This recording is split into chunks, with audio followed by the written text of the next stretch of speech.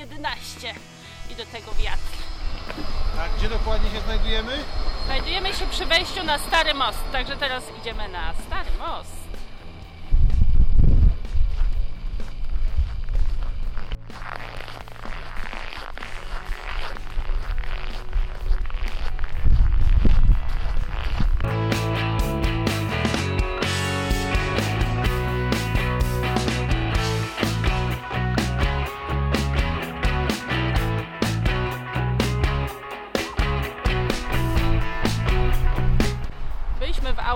Auparku, jest jeszcze zamknięty, a że przeszliśmy e, stary most, tak jak chcieliśmy jeszcze, jak było ciemno, żeby porobić fajne zdjęcia, tak teraz udajemy się na śniadanie.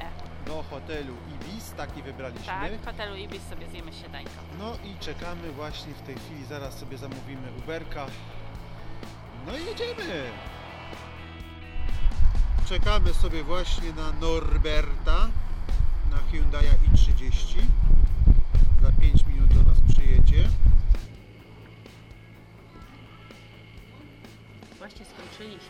Śniadanko.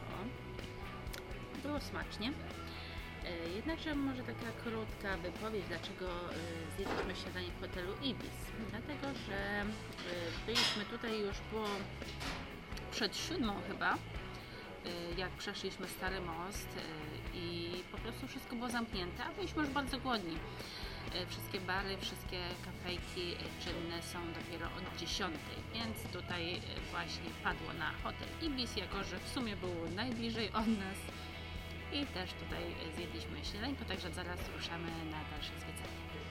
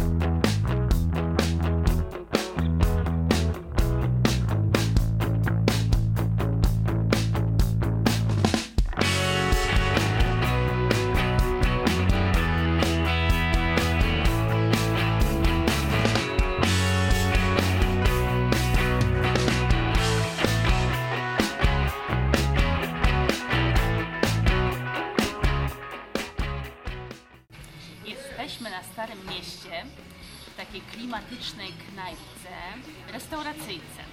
Przyszliśmy sobie coś zjeść pysznego z tego względu, gdyż jest strasznie zimno. Na zewnątrz jest około minus 12 stopni, ale do tego tak silny wiatr, że chyba odczuwalna temperatura jest powyżej 20. Zamówiliśmy sobie tradycyjne danie słowackie, czyli prażony ser z frytkami oraz sosem czosnkowym. Wygląda to bardzo apetycznie. A do tego dostaliśmy jeszcze deser w postaci szarlotki z jabłkami. No to co, zabieramy się za jedzenie. Tak.